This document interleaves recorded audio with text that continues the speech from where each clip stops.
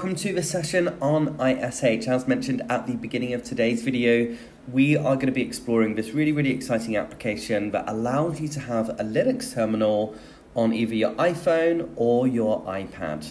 Now, if you go to a client location or if you get somewhere and you realize the only thing you have in your bag or pocket is an iOS device, Linux terminal will be particularly helpful for you. Now, this is Alpine Linux, so this isn't a full blown version of Linux, and there are going to be some limitations.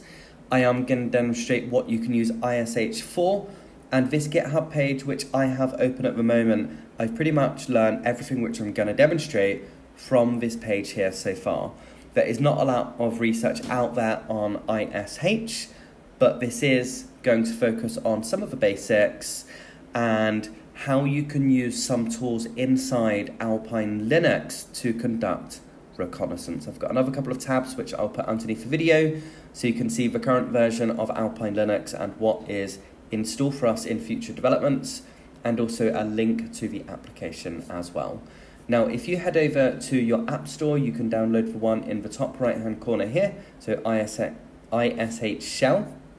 I've got a new version of this installed on my iPad and to start with, we are going to check out this custom message here.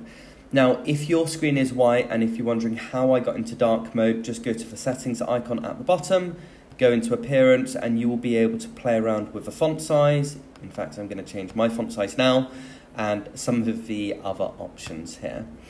Now, what I want to do is I want to set up a custom message when I open up ISH rather than it saying welcome to Alpine. So to do that, you're going to need to install Nano to begin with. So I'm going to type in apk add and then Nano. Now I already have this installed, so it's not going to go through the installation process, but for you it will. And then the next thing which we are going to do is we are going to go into this directory etc and then we're going to open up this file, which is motd. So we're going to do cd dot dot ls, we're going to log into etc, and then we're going to go to nano, and then motd.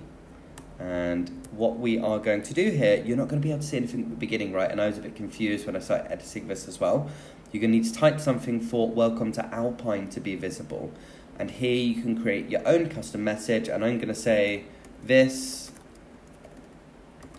video on ISH has been created by Steam Labs. So those of you which are watching, thank you very much.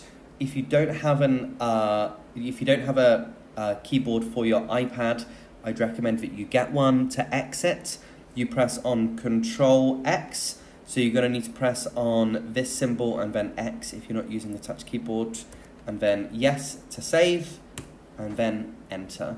Now, if we close this application and reopen it again, let's see if our new message is there, and there we go. Now, it says at the beginning you're going to need to use this command to install packages, and this is a particularly helpful command, and some of the things which we are going to have a look at today is going to be git, but in order for us to use git, we are going to have to install git. So we're going to do apk, add, and then git. So this is a new installation of ISH on my iPad. And then what we are going to be able to do is clone different tools which are available on GitHub. Now, if you are looking for different applications that are available, and if you can't find it on that website which I showed you here, so this GitHub page for ISH, what you can do over here in your terminal window is you can type in apk search and then one of the tools that I am going to be demonstrating to begin with is going to be SSH. So I don't think that this is a tool which is available or I think it's actually OpenSSH who will be able to see what is returned and this is the one which we are looking for here. It's going to be open SSH so we found the package. So I'm now going to type in apk add and I'm going to type in open SSH now This is particularly useful. So if you are on an iOS device, and let's just say you want to connect to a Raspberry Pi within your network, or let's just say uh, a Mac or a Windows based machine, we can do this from our iOS device. So in this case, I am using an iPad. Now we have got OpenSSH installed. If we wanted to connect to our Raspberry Pi or any other device, we will type in SSH and then name which is being used for that device. And my IP address is 192.168.1.104.